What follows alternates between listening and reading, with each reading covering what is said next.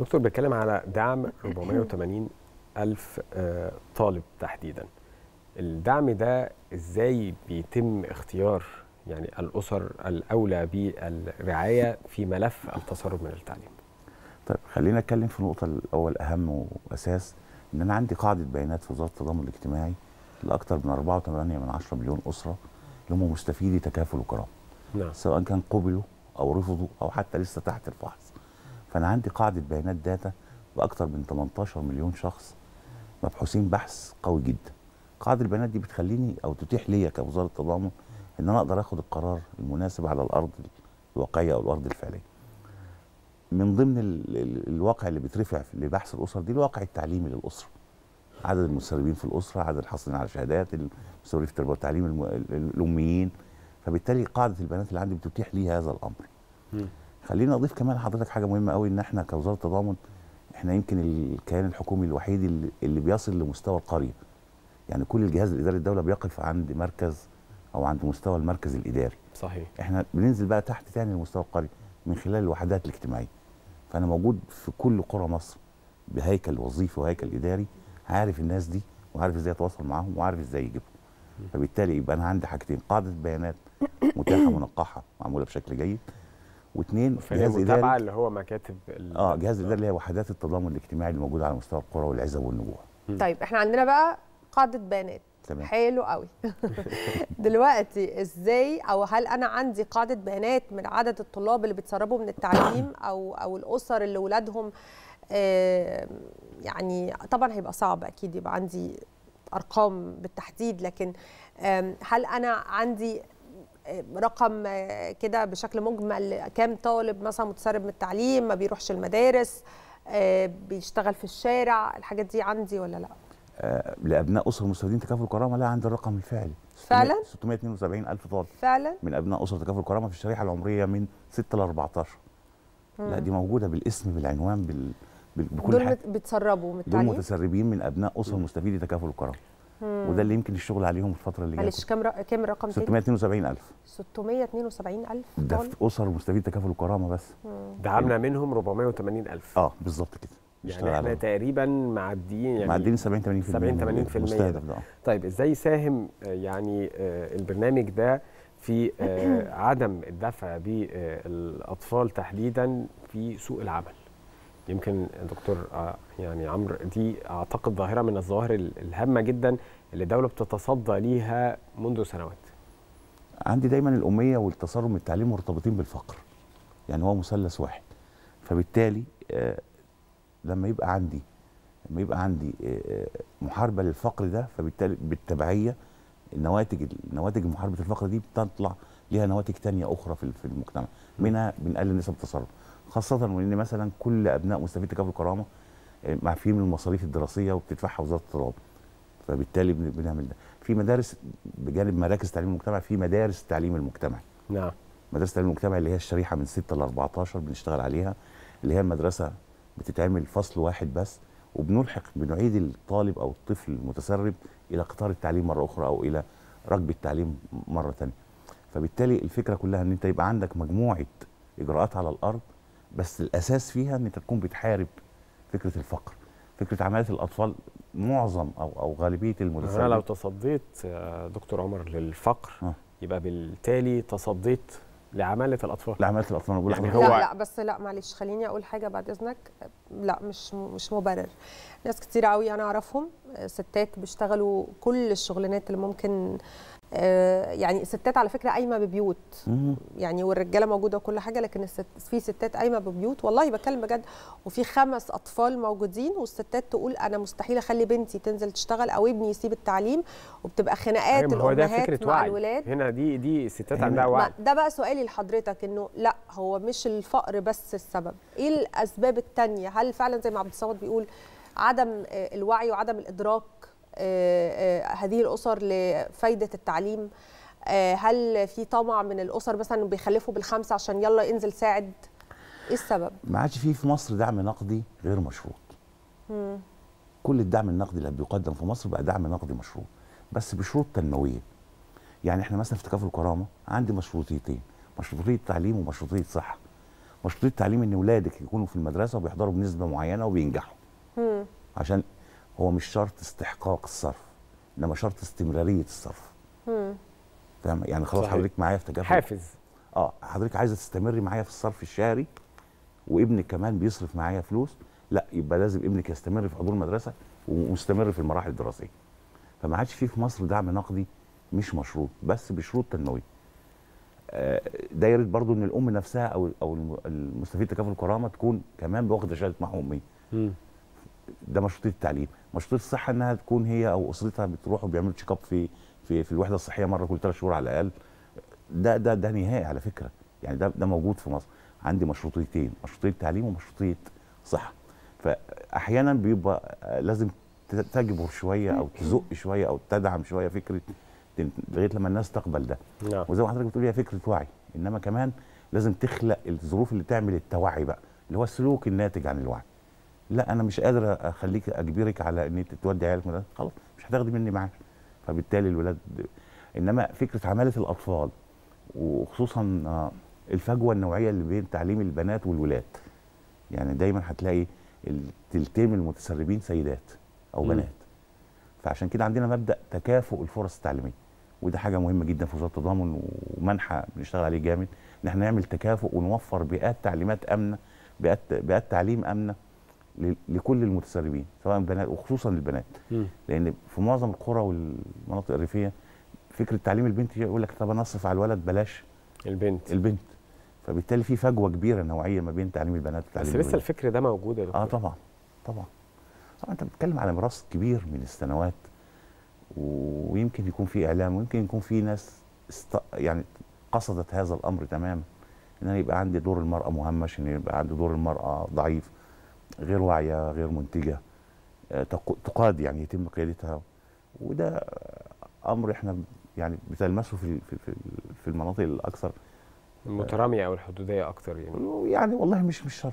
يعني لا نسب التسرب هتلاقي في محافظات زي البحيرة مثلا زي المنيا مش مش مش مش مرتبطة قوي بال- بالبعد المسافي أو المكاني إنما هي مرتبطة بفكر بالفكر. إرث من الجهل والفكر بالفكر. ميراث كبير آه لازم فأنت لازم تشتغل عليه شوية لازم تدوس عليه شوية وإحنا بنتكلم دايما إن لم تستطع أن تغير فعلى الأقل تستطيع أن تحسن ما هو قائم بالفعل.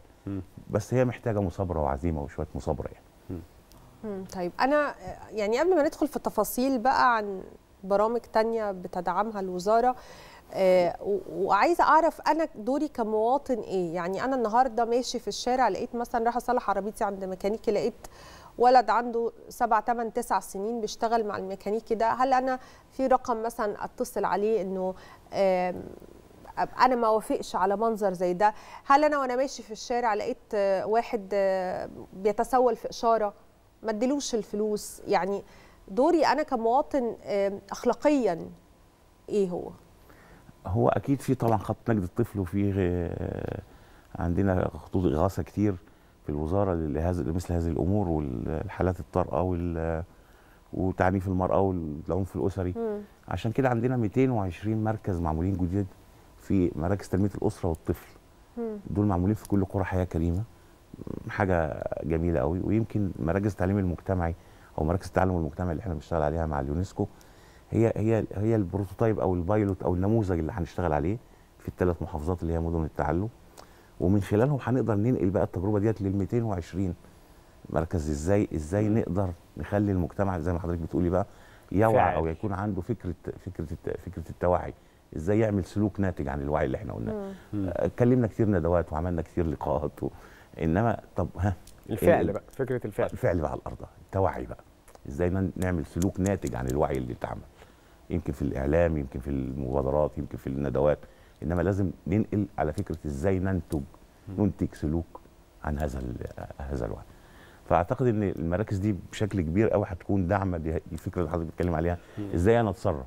نعم. هنا هيبقى المركز دور مركز تاني طيب دكتور عمر حمزة إحنا بنتكلم على تعليم وهو الشق المعني بحضرتك تحديدا داخل وزارة التضامن آه، الاجتماعي. يمكن من بين البرامج اللي بتاخدها وزارة التضامن الاجتماعي برنامج لا أمية مع تكافل. عاوزين نعرف الهدف من هذا البرنامج والفكر القائم عليه وإزاي بيبقى ليها دور هام داخل مدن التعلم. طيب خليني أقول لك إن أنا عندي أكتر من 60 65% من آه كان 60 65% من مستفيدي تكافل الكرامه اميين 65 آه. اميين التلتين في المية تلتين 70% منهم سيدات. وهم السيدات اللي بي... هم اللي بيعولوا الأسرة زي ما حضرتك زي ما حضرتك بتقولي. هم اللي شايلين الأسرة وهم اللي بيصرفوا على البيت وهم اللي بي... فكان لازم يبقى في توجه أو أو مبادرة خاصة بيهم. إزاي نعلم الناس دي؟ بس مش تعليم ألف ألف باء وأبجدية ومحومية و... لا إزاي تديله مهارات؟ تعليم حرفي. كمان إزاي مهارات إدارة مشروع صغير. إزاي؟ يعني المنهج اللي إحنا بنشتغل عليه في الوزارة أو المناهج اللي إحنا بنشتغل عليها في الوزارة مش بس فكرة الالفابيتيكال أو ألف باء لأ إحنا بنديله إزاي إزاي تعملي مشروع صغير إزاي تعملي دراسة جدوى صغيرة لمشروع صغير إزاي تكوني ست منتجة بعد كده. لأن أنا عايز بعد ثلاث سنين دي تتشال من تكافل الكرامة وأسرة تانية تخش تاخد هذا الدعم. تستفيد. وهي وبالتالي هي تستمر.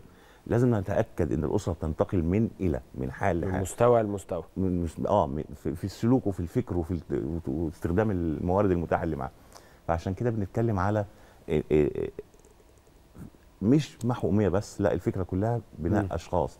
إزاي تبني شخص واعي يؤثر ويتأثر بمن حوله نعم. ويكون مفيد كمان للمجتمع. وما, وما يروحش ما يتسقش ما يتخدش في في إشاعات و- ويبقى بيهدم الدولة هو دون أن يدري. ما هو ده لما احارب فكر واحارب فقر فبالتالي أصبح المواطن هو مواطن واعي فلا ينساق للشائعات ولا. يتم استغلاله. بالظبط كده. زي ما بنتكلم دايما فكر الفقر وفقر الفكر. صحيح. آه يعني دي أنتوا نقطة كمان وصلتوا للحضانات. آه طبعا. ما يعني قلتوا نبتدي من الأول بقى خالص, آه يعني من صفر لأربعة. عملتوا إيه يعني؟ وإيه اللي خلاكم تفكروا إن أنا أوصل للطفل من وهو في في الحضانة يعني؟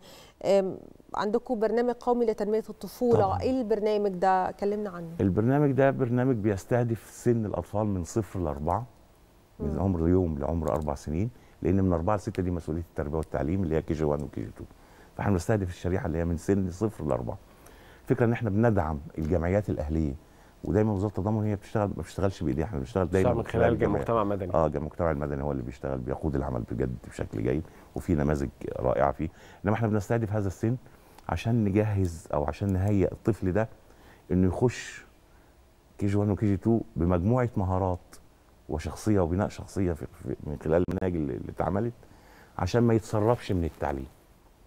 يعني أنت لازم تقفل دايرة تسرب وتحلها من الجذور مش تحل حل. سطحي إن أنت تعمل مدرسة تعلم. مسكنات آه تحل تعمل مدرسة تعلم مجتمعي بس وتقف. لا طب ما أنت من الأول جاهز الولد ده إيه؟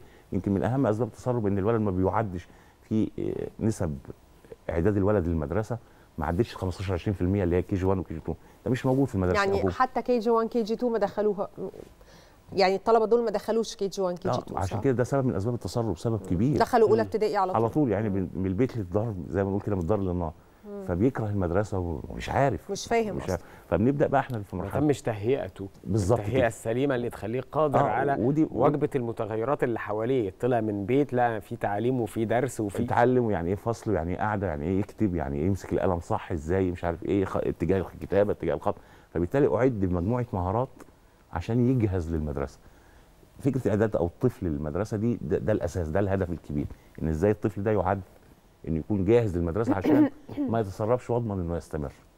دي نقطة مهمة جدا. طيب فكرة آه، في آه، يعني آه، مبادرة جديدة لدعم التعليم عبر مراكز التعلم المجتمعي. وأعتقد دي هيكون ليها دور هام ورائد وشراكة زي ما حضرتك قلت مع اليونسكو. إيه الهدف منها؟ وإيه اللي هتضيفه؟ وهيغير نمط يعني ظاهرة التسرب من التعليم تحديدا إزاي؟ وهيقضي كمان على نسبة كبيرة من محو الأمية. آه من الأمية تاني اليونسكو اختار مجموعة مدن على مستوى العالم اسمها مدن التعلم. مدن التعلم دي بيبقى اليونسكو داعم فيها بشكل فني لأن دايما اليونسكو بيدعم الجزء الفني ما بيدعمش الجزء التنفيذي أو ده يعني هو بيدعم بجزء فني.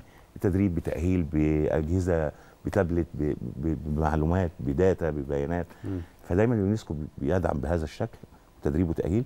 وبيبقى فيه كمان جهاز بقى في دائري في الدولة هو اللي بي- بيشتغل الشغل التنفيذي ده اخترنا ثلاث محافظات أو اليونسكو مختار ثلاث مدن في المح... في, في هو اللي مختار آه ولا طبعا آه هو اللي بيختار. على أي أساس بيتم على؟ معدلات فقر وعلى معدلات تسرب عدد المدارس الحكومية اللي موجودة يعني مم. هو بيختار على ال- على الشكل ده معايير كتير قوي الأكثر احتياجا يعني الأكثر هو كمان احتياجاً، يعني آه، آه. الثلاث مدن اللي هم إيه؟ الجيزة دمياط أسوان فعلا محافظة الجيزة آه طبعا مم.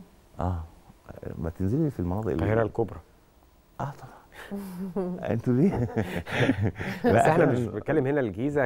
كمدينة إحنا هنا بنتكلم في الأقاليم خش بقى العياط يعني والصف آه، مدرشين عياط. وانت وانت نازل تحت آه طبعا. هي دي الفكرة يعني آه. لأن هو في ظاهرها كله ممكن يفتكر الجيزة إيه ده ده القاهرة وجيزة أنا مش بتكلم في لا، مدن لا، أنا لا بتكلم. في أقاليم آه، آه. وضواحي دمياط عشان آه، برضو فكرة العمل وسوق العمل وإن معظم اللي هناك بيشتغلوا ففي نسب تسرب عالية شوية في دمياط آه، أسوان عشان محافظة حدوديه فلازم تتشاف لأن في مجموعة طب من إيه اللي ال- هيتقدم في المراكز دي؟ هو سريعا مركز جدا كده. آه حاضر. هو مركز ببس- بسرعة كده بي- بيدعم فكرة الاحتياج المجتمعي من التأهيل والتدريب لسوق العمل. أنت محتاج تتعلم اعلمك أنت محتاج تتدرب وتتأهل على فكرة كذا تحت أمرك. محتاج تعرف آه إزاي تدير مشروع اقتصادي أو إزاي تعمل سلسلة إنتاج في القرية بتاعتك مع مجموعة من الناس أنا جاهز لده إزاي تعدل سوق العمل إزاي تعمل سي في إزاي إزاي كل ما يخطر على حتى لو فرضا مجموعة 10 15 واحد جم عايزين تدريب معين مش موجود في البرامج التدريبية اللي موجودة لا يتعمل. طبقا للاحتياج الفعلي أو طبقا للاحتياج المجتمعي اللي موجود في.